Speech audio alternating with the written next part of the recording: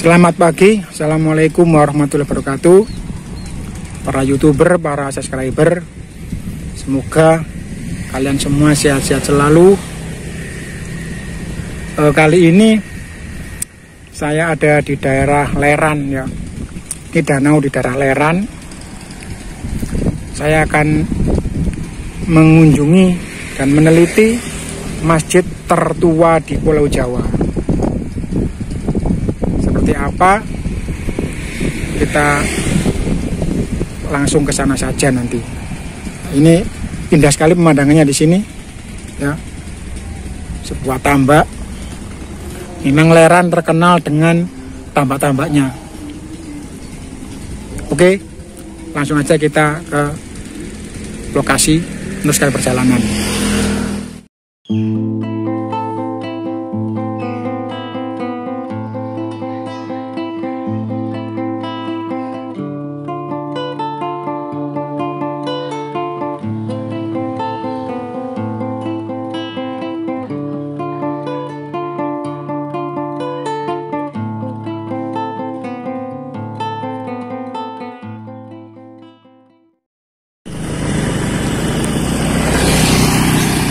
uh, tadi kita dari sana ya dari Telaga terus kita menuju ke Desa Leran. Kita sudah dekat dengan lokasi. Kalau sana tadi dari Desa Leran atau Makam Panjang bisa arah sana. Nah kalau ke kanan sana nanti tembus Penggantian tembus dengan Pondok Suci. Ya lokasinya di sini ini lokasinya ya. Nah, Jalan Malik Ibrahim Dusun Pesucinan Desa Leran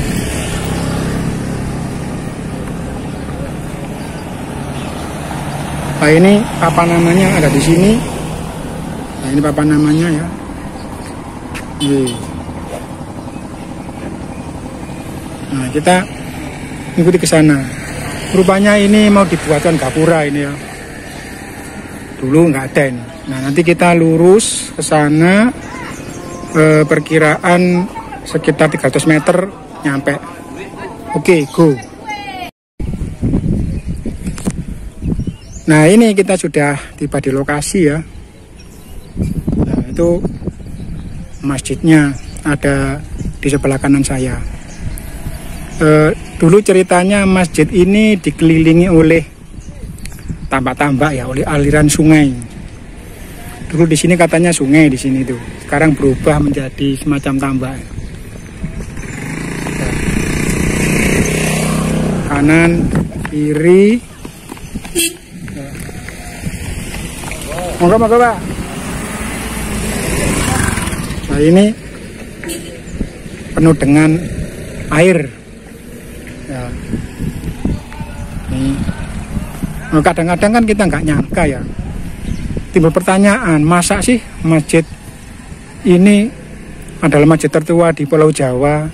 Nah memang masjidnya kan sudah mengalami eh, banyak renovasi ya. Sudah direnovasi terus. Oke lah sambil kita ke sana nanti akan saya jelaskan. Go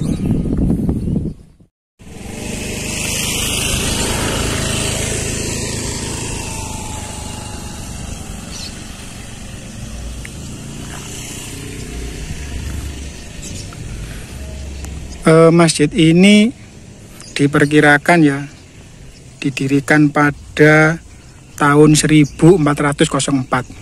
yaitu pada masa kerajaan Majapahit. Jadi intinya masjid ini adalah masjid pertama kali yang ada pada masa kerajaan Majapahit. Ya serangga langsung ya masjid tertua di Pulau Jawa. Diperkirakan usianya eh, hampir 655 tahun. 655 tahun mungkin bisa lebih ya. Karena kita tahu Syekh Muhammad Ibrahim itu kan eh, termasuk salah satu ulama wali songo yang terdahulu. Nah beliau sebelum pindah ke Gresik atau Gapuro Sekolelo di sinilah pertama kali beliau berdakwah. Eh, langsung aja kita ke masjidnya biar pemirsa tidak penasaran. Oke. okay. Oh, kita tadi dari sana ya kanan kiri itu tambak. Nah depan ini adalah masjidnya. Wow banyak.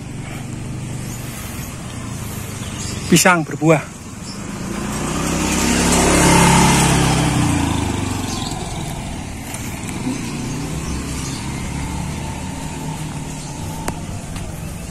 Wah mantap ada juga bunga-bunga di sini.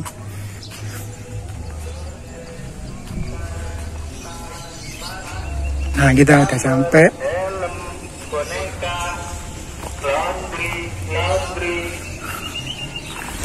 Nah, Masjid Syekh Maulana Malik Ibrahim.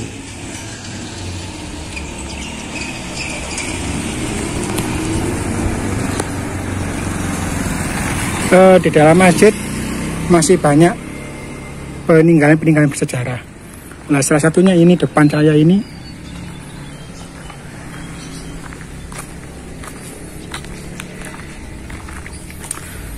Nah, ini eh, semacam apa ya? Kalau orang bilang ini menhir mungkin. Tapi ini dulu menurut ceritanya adalah tempat untuk menambatkan perahu. Ya, tempat untuk menambatkan perahunya Syekh Maulana Malik Ibrahim saat berdakwah ya. Dulu kan ini sungai ya, berdakwah di sini, kemudian perahunya diikatkan di sini ini. Kuat sekali ini. Ya. Oke, langsung saja kita masuk ke dalam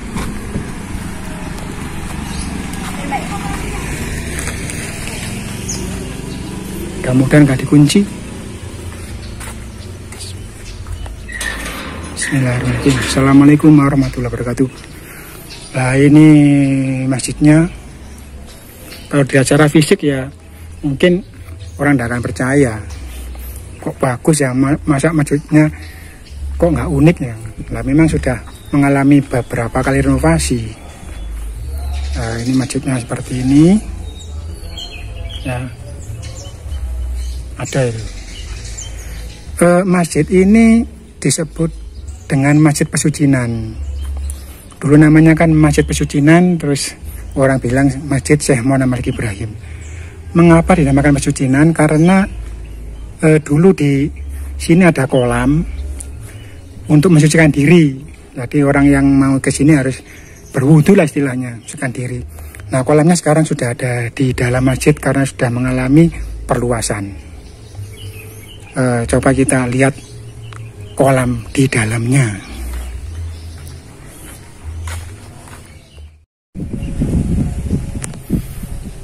Ini tepat di kanan masjid ya.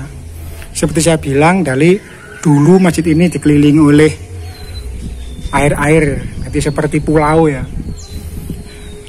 Seperti pulau yang ada di tengah-tengah air bolanya masjid ya. Ini tempat berwudu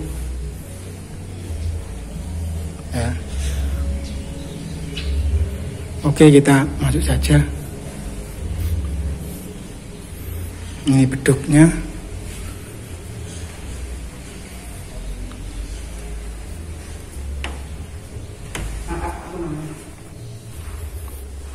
Nah inilah air tempat untuk berwudu. Dulu ini kolamnya ada di luar masjid, tapi karena ada perluasan, sekarang kolamnya ada di dalam ya ini ada ini.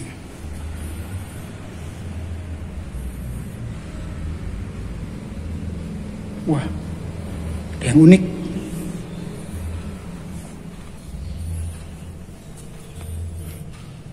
Nah itu bambu yang ketemu ya. Istilahnya bambu apa itu yang ketemu dengan ruasnya itu? Saya lupa nanti yang paham bisa komen di sini. Dipagari oleh pagar yang berbentuk daun-daun. Ini airnya ini ya. Air untuk bersuci di sini. Ya. Nah ini. Uh, segar sekali.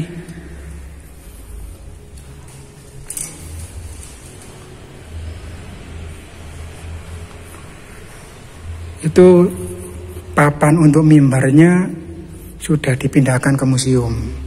Ini mimbar yang baru mungkin.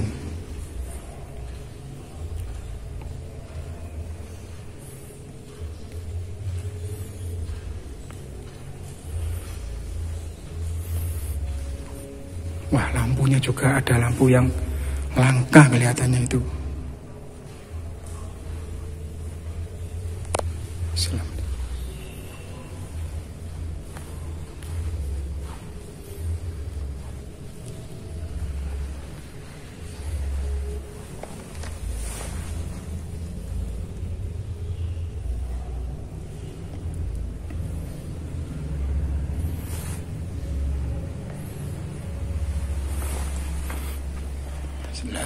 La ilaha illallah Muhammadur Rasulullah.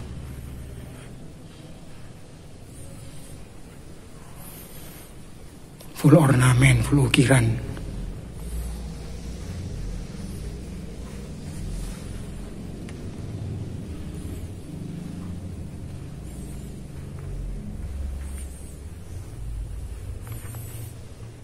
Oh, pilar-pilarnya ini.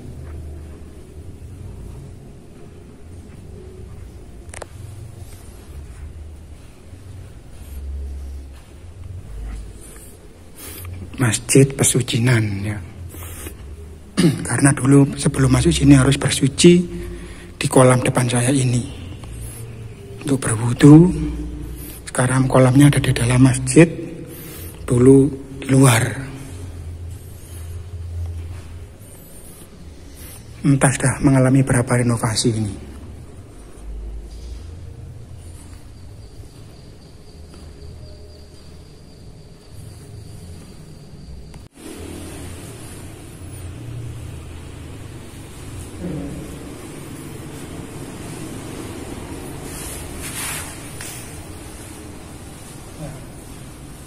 Pring petuk ya.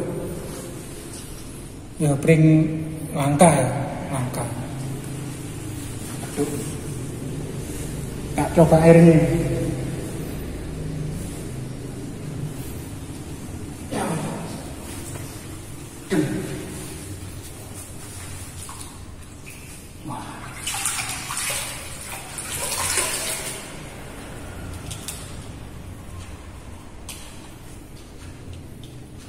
Keren.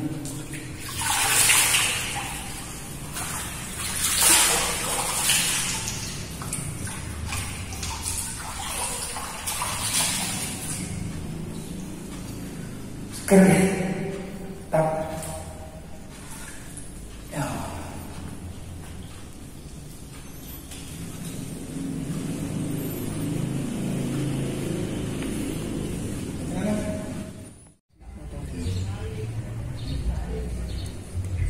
Eh, coba kita berkeliling sebentar sekitar masjid ada apa saja.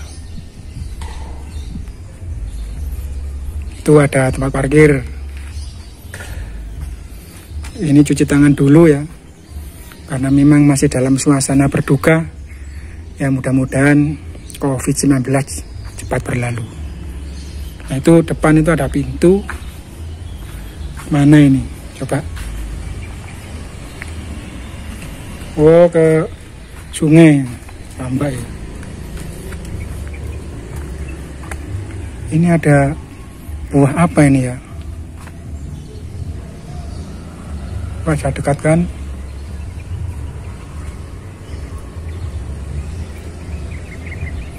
Baru kali ini saya melihat. Barangkali yang tahu silakan komen. Ini buahnya ya. Loh. Kalau pohonnya seperti ini pohonnya ya. Nah, seperti itu.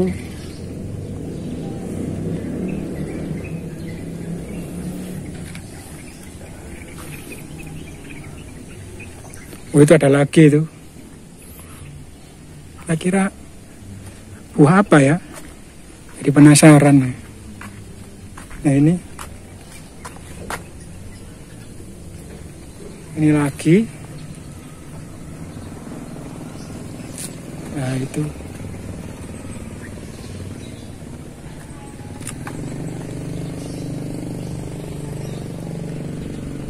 Eh, baiklah sampai di sini dulu. Sampai ketemu di video-video berikutnya.